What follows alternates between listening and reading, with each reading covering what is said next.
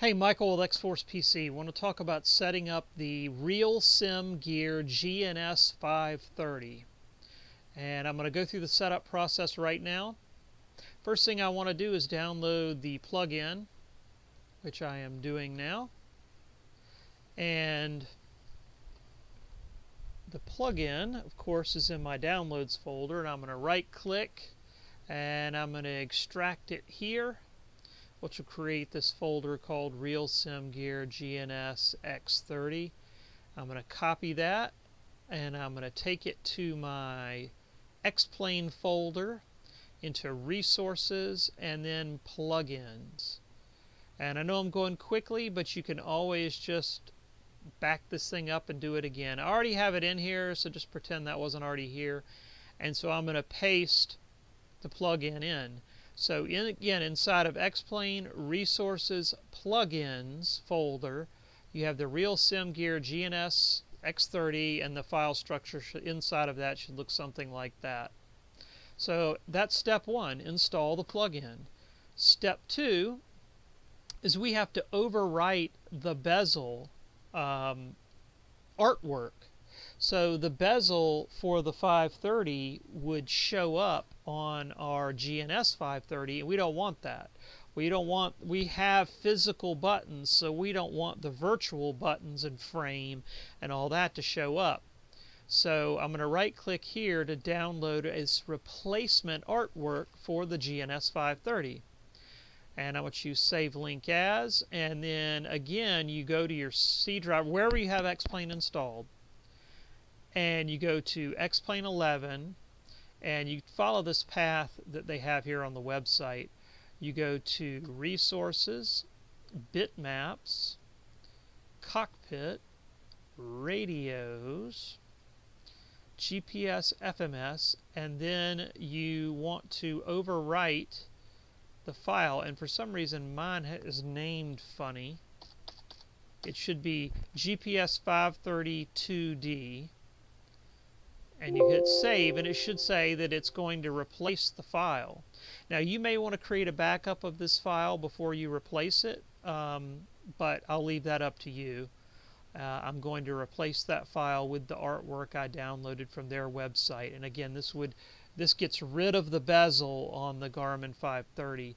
Do keep in mind when you run an X-Plane update, it will probably see that this file has been modified and ask you, hey, do you want to overwrite this file? We see it's been modified, and you'll most likely want to say no, um, unless you want to have to redo this little process I just did to download the uh, artwork. Um, so we've got our plugin installed, and we've got our um, artwork installed. The next thing we need to do is look at our monitor configuration. So when you plug in the RealSim Gear GNS 530, it has an HDMI cable, which you need to plug into an HDMI port. It has a USB cable, which you need to plug into a USB port. And it has power. And once you have all that hooked up, if you go to display settings, you'll see you have an extra monitor over here. This is the RealSim Gear uh, box. It acts like a monitor and you should drag this box and orient it however it is around your display. Mine is kind of to the lower left of uh, my main display, so I'm going to do it like that and hit apply. And that way when I drag my mouse off the bottom of the screen, it seamlessly flows down to this second display, which is my RealSim Gear 530. Now the other thing I had to do was change the orientation to landscape flipped on this GNS 530 display. Mine was upside down.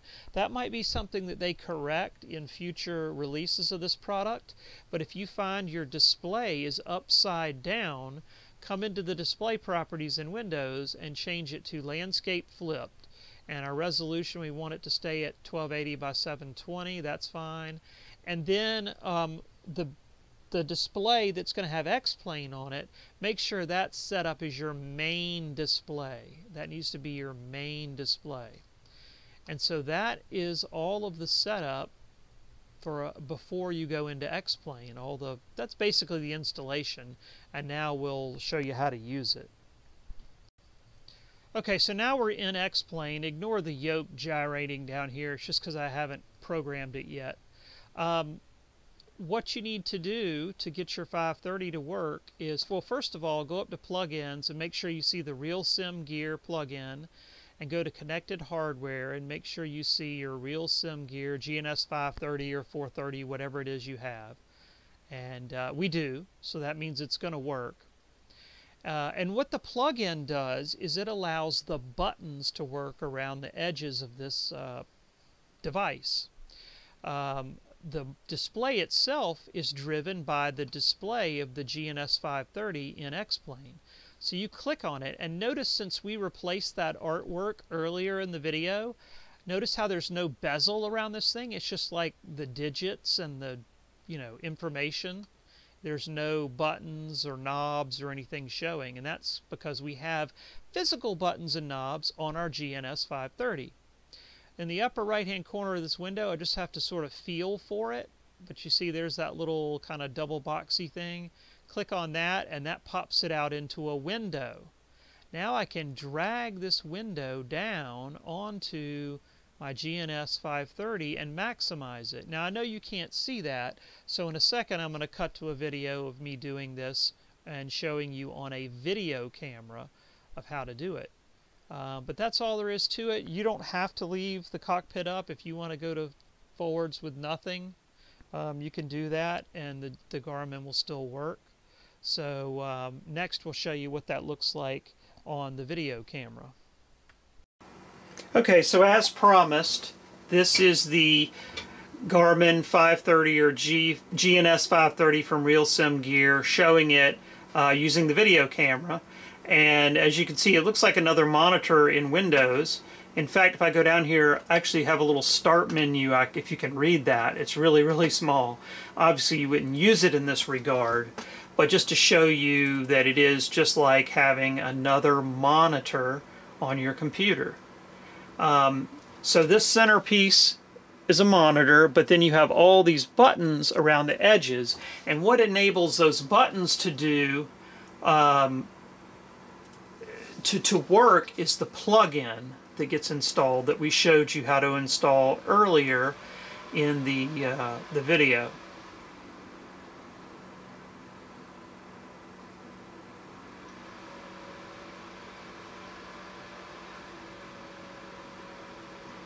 So that plug-in will enable all these buttons around the edges to work and you know, in our testing, it works exactly like the real thing. The buttons do everything they're supposed to do.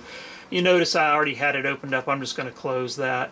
Uh, ignore the yoke flashing down here. It's because I haven't actually calibrated it. So if I click on the 530 over here, it pops it out into a window like that.